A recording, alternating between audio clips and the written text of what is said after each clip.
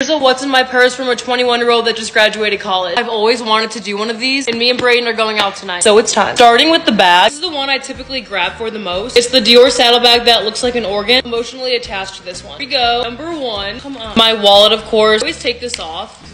Because my keys would just waste room. Okay, wallet. A straw. Because if I go to a bar and they don't have straws, it just rinse it because then your lip stuff gets all messed up. Always keep a straw in your bag. Next. A little powder puff for touch-ups. You might get oily. This is a must. Next. Lip oil. Any kind. Always gotta have it to reapply. This is the Dior one in shade 001. Okay. Excedrin migraine. I get headaches. Oh. Another one. I always take two. Next. Lip liner. Shade Pillow Talk Medium. Okay. The matching lipstick. And a hair tie. Hope you enjoyed the what's in my bag.